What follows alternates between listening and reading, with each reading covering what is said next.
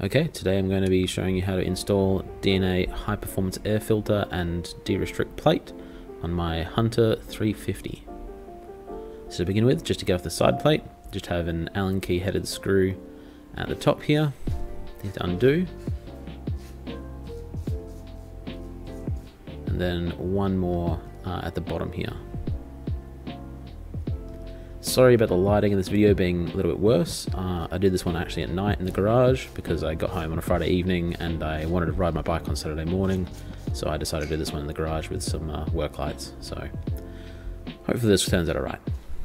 So after those two, uh, two bolts and, or screws are removed, you just have to uh, like pull it out and then forwards towards the front of the bike because there's like a, a, rubber grommet held onto a tab at the back, which can be a bit uh, tight on there.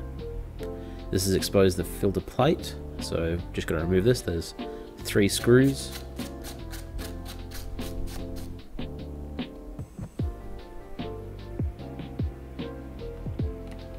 The idea behind this filter is that you'll remove this plate here and um, with that uh, that one that comes in the kit. But don't get rid of these screws because you will need these screws to install the new plate as the new kit does not come with screws and fasteners.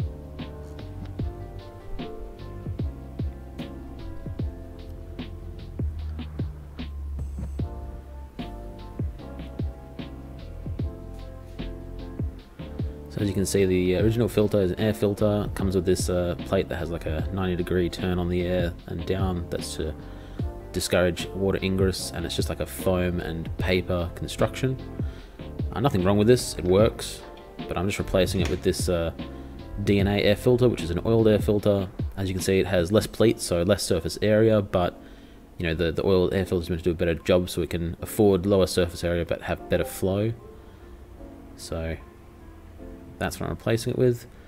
And you can see the comparison between the two intakes here. The DNA air filter has probably 5 or 6 millimeter of more diameter on the actual intake, so there's more room for the air to flow into the filter, and it also just doesn't have this 90 degree turn on the front there.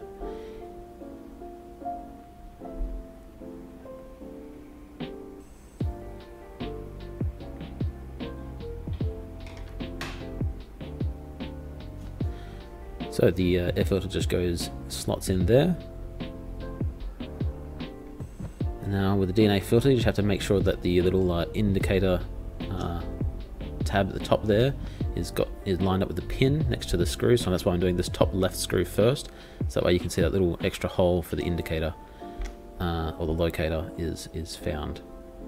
Don't do it all the way up. The the, the plate actually has a like a foam gasket so you want to get it evenly, evenly uh, screwed down.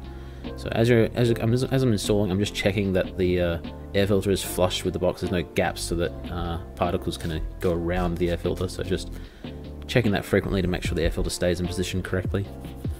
And uh, again, not fully tightening, just going around doing these three screws uh, moderately tight, just so that I can uh, get it all in position.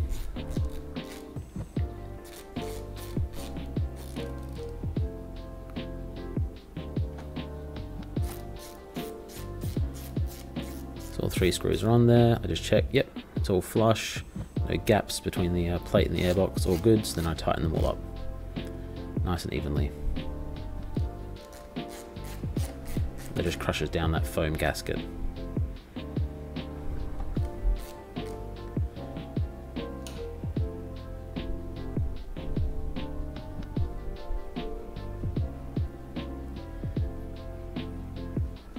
So now we have to reinstall the side plate.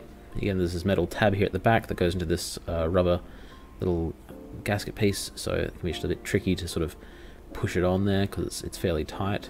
So once you get it on there, just uh, place it back against the uh, frame, and then it's a matter of just redoing those uh, two screws back up with the uh, Allen heads. Now that uh, you've done all this, um, it's very important that before you ride your bike, you turn it on and you actually let it idle for 15 minutes. So no blipping it, uh, no revving it, no going out for a ride immediately. Just because this does have an electronic ECU and it does need time to adjust for the uh, new uh, air feed rate. And because I'm doing this at night in my garage, uh, you get a little treat here of uh, listening to my motorbike inside the garage running.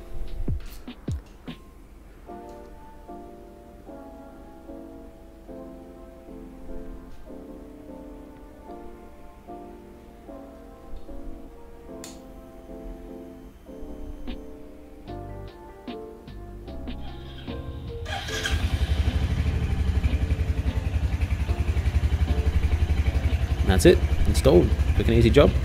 Um, I guess I'll see you guys next time. See ya.